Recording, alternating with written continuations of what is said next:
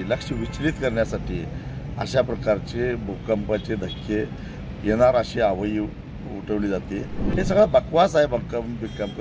जे काय व्हायचं यांचा आधीच ठरलेला आहे. आता जनता कुणावरच विश्वास ठेवणार नाही अशी स्थिती निर्माण झाली. तुम्हाला एवढ्या मोठ्या प्रमाणामध्ये गर्दी जमवायची होती तर उघड्या मैदानाच्या ऐवजी एखादं बंदिस्त मैदान मंडप अशी काहीतरी व्यवस्था करायला पाहिजे होती. अशी शंका घेतली जाते राजकीय भूकंप होणार महाराष्ट्रात अशा देखील चर्चा सुरू झालेल्या आहेत. काय वाटतं एकूणच ही सगळी परिस्थिती बघितली? अ, भूकंपापेक्षाही वाईट अवस्था आता महाराष्ट्रामध्ये आहे. एका बाजूला जनता महागाईनं त्रस्त झालेली आहे. प्रचंड उन्हाळा आहे. नद्या कोरड्या पडलेल्या आहेत. आणि गारपिटीमुळं शेतकऱ्यांचं आतोनात नुकसान झालेलं आहे. पंचनामे होत नाही सरकारी अधिकारी नीट काम करत नाही. आणि अशा परिस्थितीमध्ये ह्या सगळ्या जनतेच्या जिवाळ्याचा प्रश्न महागाईनं तर आगड महागाईचं तर आगडून घुसळलेला आहे. ह्या सगळ्या प्रश्नाकडं लक्ष दुर्लक्ष करण्यासाठी लक्ष विचलित करण्यासाठी अशा प्रकारचे भूकंपाचे धक्के येणार अशी आवई उठवली जाते. परंतु आता महाराष्ट्रातल्या विरोधी पक्षावरही जनतेचा विश्वास राहिला नाही. आणि सत्तेत असणाऱ्यांच्यावर तर अजिबातच विश्वास राहिलेला नाही. हे सगळं बकवास आहे भक्कम बिक्कम जे काय व्हायचं यांचा आधीच ठरलेला आहे.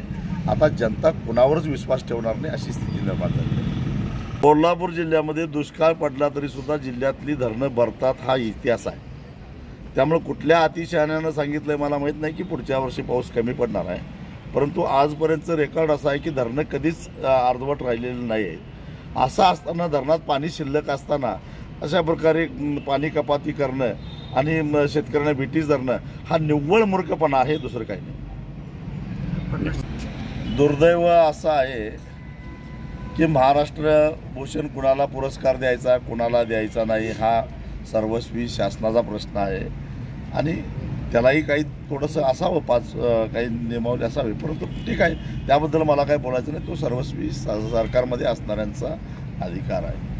तुम्हाला एवढ्या मोठ्या प्रमाणामध्ये गर्दी जमवायची होती तर उघड्या मैदानाच्या ऐवजी एखादं बंदिस्त मैदान मंडप अशी काहीतरी व्यवस्था करायला पाहिजे होती. किंवा मर्यादित लोकांच्या ब साथीनं तो कार्यक्रम घ्यायला पाहिजे होता.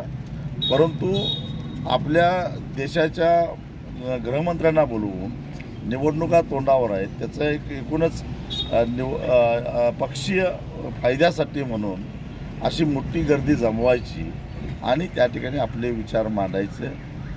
हे काही बरोबर नाही.